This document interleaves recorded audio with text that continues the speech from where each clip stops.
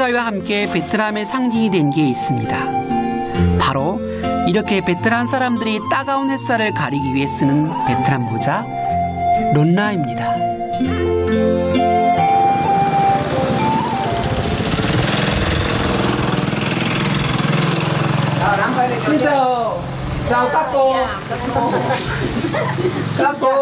bây giờ đang làm gì ạ? làm nó Tôi sẽ 대나무로 뼈대를 만들고 그 위에 왕고를 잘라 끼우는데요. 일반 놀라와 다르지 않아 보입니다.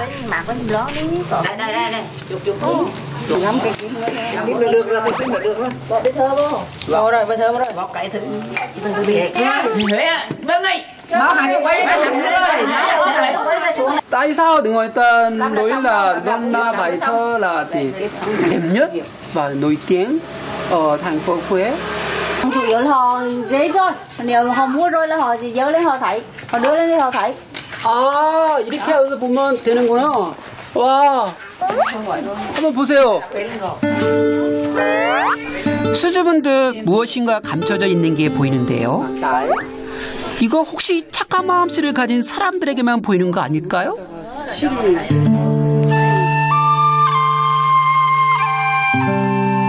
이렇게 왕고리에 실을 새긴 신문지를 끼워놓고 그 위에 다시 왕고를 올리면 후에 만에 론나가 완성됩니다. Đây là là, là bài thơ Bài thơ, 아 여기는 시가 새겨져 있어요.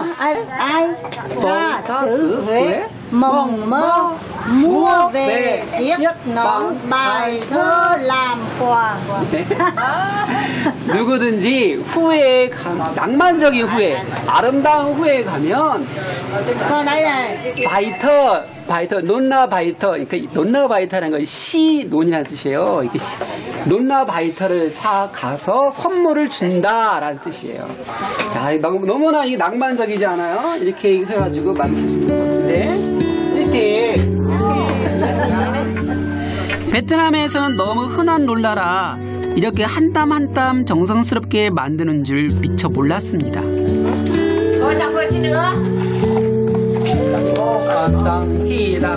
아주 바쁜 농번기가 아니면 거의 매일같이 둘러앉아 이렇게 놀라를 만들어 시장에 내다 판다고 하는데요.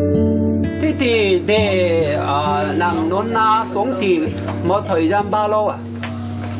Một chiếc. à, Một chiếc? Làm Một ngày được hai Hai Hai Hai. Hai, chiếc Một ngày được hai cái Vâng vâng. Ba người, người người nào chăm lâu à, là bốn tiếng tùy theo mắt mắt 하루에 두 개 이상은 만들기 힘들다는데요. 적은 수입으로도 놀라를 만드는 이분들이 있기에 베트남의 전통이 지켜지고 있는 게 아닐까요?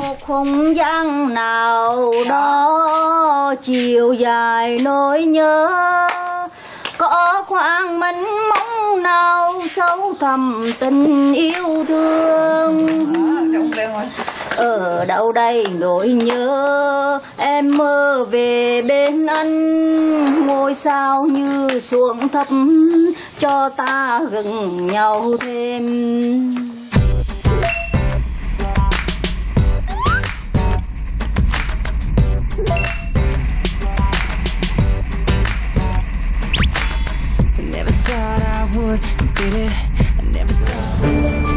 이곳이 바로 베트남의 리틀 파리로 불리는 달랏인데요.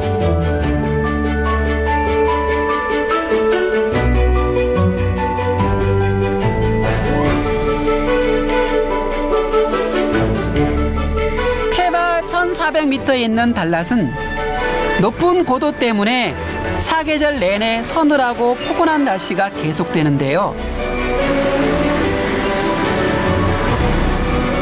특별히 이곳은 커피를 재배하기도 아주 좋은 곳입니다. 특별히 아라비카 커피, 고급 커피를 많이 재배하고 있는데요. 이렇게 커피를 즐길 수 있는 곳을 우리 많이 볼 수 있습니다.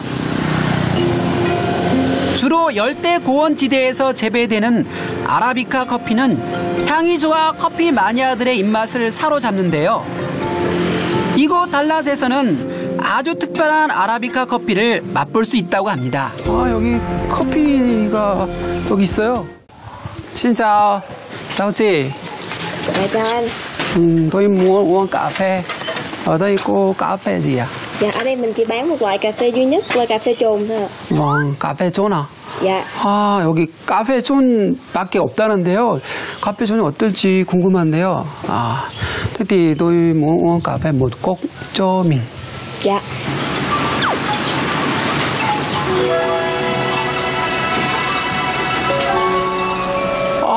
아, Nó có thể giữ được 6 tháng sau khi 이게 뚜껑만 열어도 여기서 꽤 멀리 떨어졌는데도 냄새가 확 향이 카페 향이 쫙 풍겨요. 와, 커피 향이 아주 진합니다. 야, Dạ ở đây một cốc cà phê thì mình sẽ sử dụng là 5 gram hạt 5g, Dạ và mình sẽ pha bằng bình siphon xay ngay tại đây luôn 5g, 5g씩 판다고 합니다. 5g. là Đây là 5g. 5 gram hạt cà phê. Thế thì bán 5g là bao nhiêu tiền ạ? Dạ 100 ngàn 100 ngàn. 아, 10만 동인데요. 10만 동이면 우리나라 돈으로 5천 원 되는데요. 사실 시중에는 일반 커피는 2만 동 정도 되거든요. 한 5배 정도 비싸네요. 이것은 사이펀이라는 커피를 추출하는 기구인데요. 75도씨가 되면 플라스크에 담긴 물이 유리관으로 빨려 올라가고 원두를 통과해 걸러지는 원리랍니다. 진공 상태로 커피를 추출하기 때문에 원두 고유의 맛과 향을 그대로 살릴 수 있다고 하네요.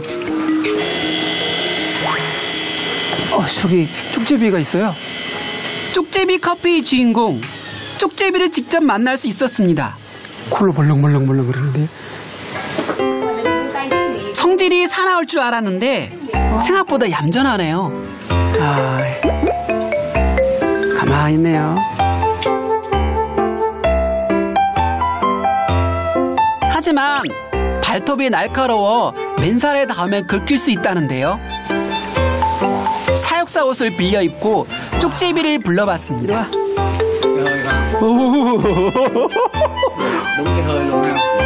오, 오, 오, 어디 가려고? 어디 가려고? 이리 와. 아. 족제비는 후각, 청각은 뛰어나지만 시각은 약한 야행성 동물이라고 하는데요. 아.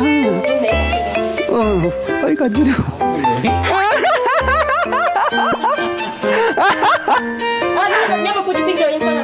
육식성인 족제비가 유일하게 좋아하는 열매가 커피 열매라고 하는데요. 한 마리의 족제비가 1년에 2kg의 커피를 생산한다고 합니다. 생각보다 많은 양은 아닌데요. 그래서 족제비 커피가 비싼 모양입니다.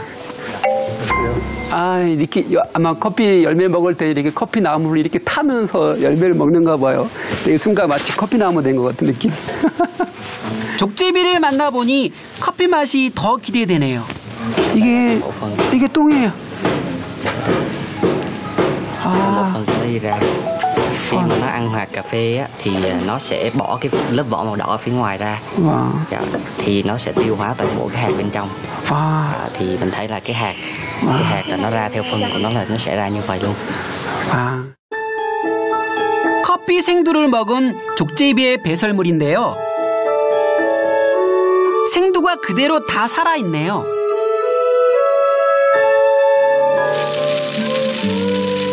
족제비의 배설물을 깨끗이 씻은 후 잘 말리면 이런 상태의 원두가 되는데요. 이 원두를 가공한 후 추출하면 족제비 커피가 탄생합니다.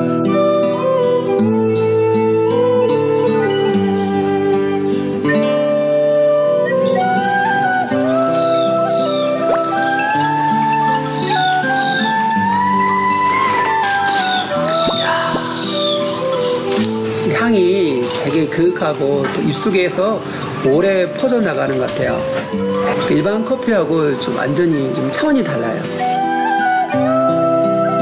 여행지에서 경험하는 커피 한 잔의 여유가 딱 이런 것이겠죠?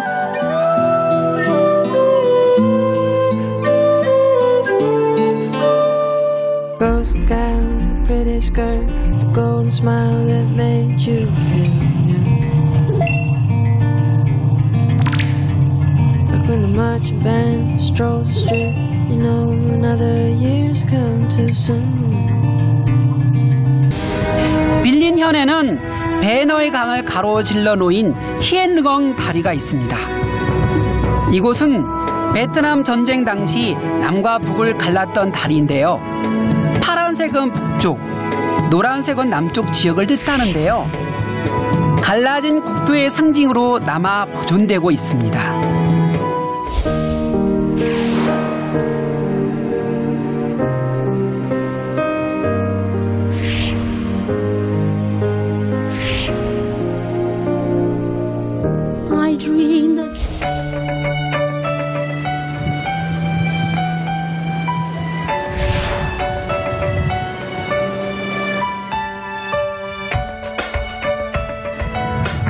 여기는 겉으로 보기에는 평화로운 공원 같은데요.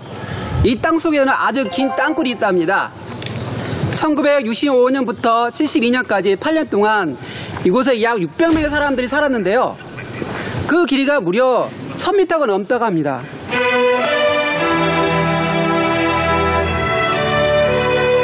베트남 전쟁이 시작되고 격전지였던 이 지역에 살던 주민들은 어떤 선택을 했을까요? 그들은 살기 위해 지하에 땅굴을 팠습니다.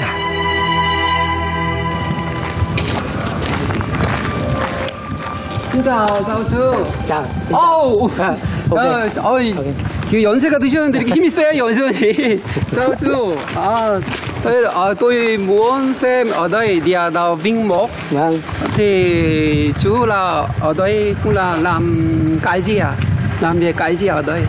Ngày xưa tôi là tôi bộ đội chiến đấu ở đây. vâng. khu vực này đấy. 아. 빅목 터널은 13개 입구와 7개의 출구가 미로처럼 얽혀 있는데요. Và đây là cửa số 3. 예, 여기가 세 번째 문이네요. 안으로 들어가 봤습니다. 입구 쪽은 관광지가 된 후로 안전을 위해 나무를 덧대 놨습니다. 여기는 사람들이 손으로 직접 굴을 뚫었는데요. 너무 좁아서 사람이 겨우 한 사람 지나갈 수 있어요. 이제 아래층으로 내려갑니다. 여기는 세개 층이 있는데요. 이 지하 2층으로 내려가는 거예요. 이 표면이 돌처럼 딱딱한데 이 손톱으로 눌러가면 쏙 들어가요. 진흙 같아요. 근데 좀 딱딱한 진흙 같아요. 작은 도구를 이용해 손으로 일일이 파낸 흔적이 고스란히 남아 있습니다. 아, 여기 가족이 사는 모습이 있어요. 지금 두 명이지만 여기 아이들이 있으면 세 명, 네 명이 함께 여기서 밥 먹고 눕기도 하고 자기도 하고 그랬을 것 같아요. 얼마나 힘들었을까.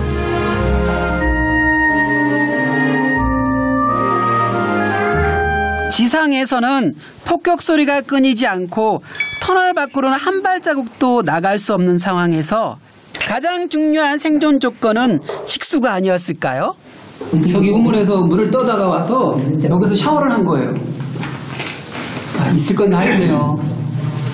Now we are in the third floor. Third floor, the deepest floor. 더 깊은 곳으로 내려갑니다. 지하 3층까지 내려왔는데요. 여기 또 뭐가 있을까요? 가장 깊숙한 곳까지 들어갔습니다.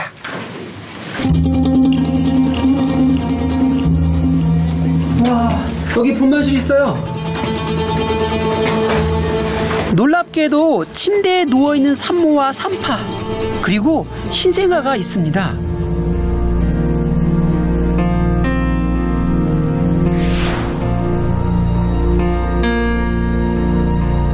mười bảy cháu 17살. 17 cháu đã sinh ra tại đây 어, 아, 여기서 17명의 아이가 태어났다고. 이 캄캄한 새도 아이가 태어나요. 생명이라는 것은 어느 곳인지 어떤 어려움 속에서도 그걸 이겨내고 태어나는 거죠.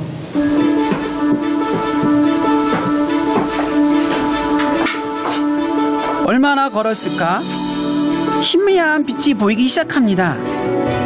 그리고 드디어 출구가 나타납니다. 눈앞에 펼쳐진 것은 드넓은 바다, 아니 가슴 벅찬 자유였습니다.